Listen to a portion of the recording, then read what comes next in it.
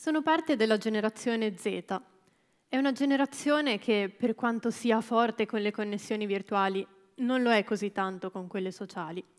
È proprio questo che mi ha portata ad avvicinarmi alla fotografia. È nato tutto come un modo per riuscire a studiare le persone che mi circondano, per cercare di capire, da bambina, se le motivazioni che mi spingono ad affrontare la vita quotidiana siano quelle che spingono anche le altre persone ad affrontare la loro. Poi si cresce era febbraio 2018. Ho partecipato a Master of Photography, un programma televisivo di Sky Arte, e circondata da tutti questi fotografi adulti, affermati, professionisti, mi sono trovata a chiedermi, ma starò crescendo? Sarò all'altezza di questa situazione? E effettivamente, crescere ci pone di fronte a possibilità infinite di conoscere persone, punti di vista differenti, ci pone di fronte a stimoli ogni giorno, anche troppi. Per cui il motivo iniziale per cui fotografavo è praticamente svanito. Posso conoscere le persone anche senza l'obiettivo. Proprio per questo motivo mi sono trovata ultimamente a chiedermi perché continui a fotografare, perché continui a prendere qualcuno da parte e guardarlo negli occhi e guardarlo ancora e ancora, e come se ciò non bastasse, dopo alcuni minuti, vestirlo, posizionarlo, dirigerlo. Quale sarà la risposta?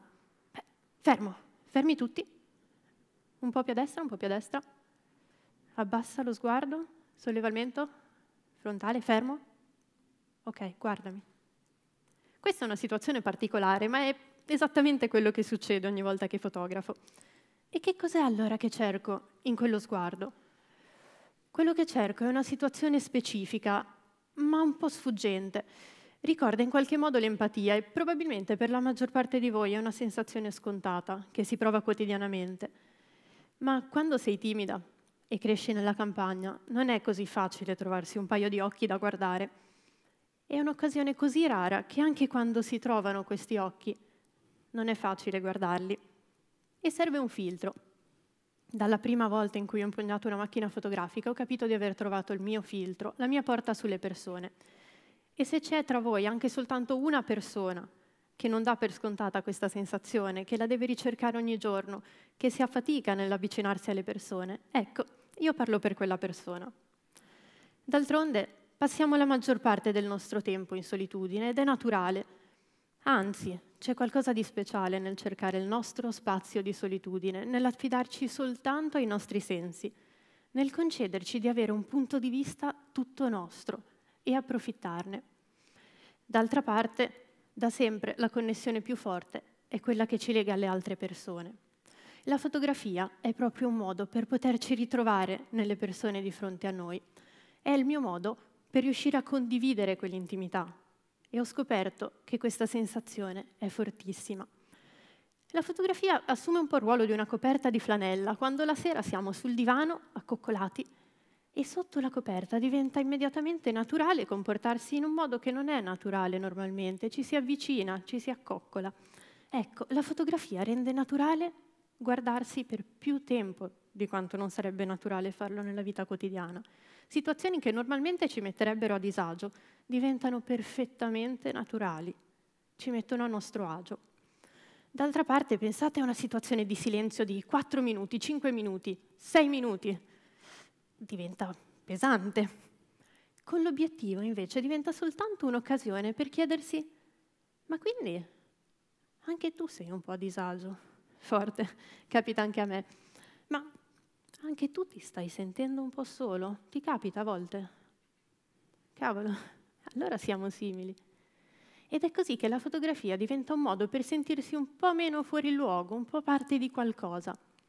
Pensate a quella stranezza che camminando tra la gente sembra così evidente, è un po' un gufo sulla spalla, sembra sempre che tutti ti stiano guardando per quella cosa specifica. Ecco, nella fotografia invece diventa quello che ci rende unici, quello che ci rende interessanti e vederlo attraverso un obiettivo diventa uno scambio di sensazioni. È una sensazione tonda, piena, che ti avvolge e probabilmente è dovuto anche al fatto che nella vita quotidiana queste stranezze cerchiamo di nasconderle, cerchiamo di tenerle per noi, di limarle un pochino. E nella fotografia non è necessario, non è necessario. Si diventa simili e ci si rende conto che le incertezze e anche le certezze non sono poi così uniche. Le provano anche le persone di fronte a noi. Ma alla fine che cos'è che mi spinge a mettere questa macchina fotografica nello zaino dopo la lezione di finanza e andare a creare immagini che fino a quel momento esistono soltanto nella mia mente? Il motivo è uno solo, è che questa sensazione mi ha cambiato la vita e credo che possa cambiarla a molte persone. È una sensazione di sentirsi uniti e sentirsi parte di una comunità, soltanto attraverso un paio di occhi. Il tempo praticamente si prolunga e tutto diventa più naturale, ci troviamo rispecchiati nella persona di fronte a noi. D'altronde, al giorno d'oggi, basta spegnere la sveglia e senza neanche alzare il culo dal letto possiamo vedere il mondo attraverso mille occhi diversi. È il potere dei social. Ma il potere dei social è anche, una volta bloccato il telefono, ritrovarci da soli di fronte alla giornata che dobbiamo affrontare. Ma la fotografia, la fotografia, quella vera, nasce per darci la possibilità di confrontarci, di studiarci, di guardarci negli occhi e rivederci nella persona di fronte a noi.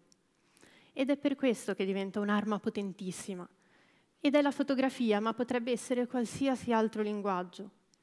È il linguaggio più adatto a ognuno di noi. La fotografia, come ogni linguaggio, ci permette di comunicare in maniera molto più intensa e diretta. Diventa una sorta di arma.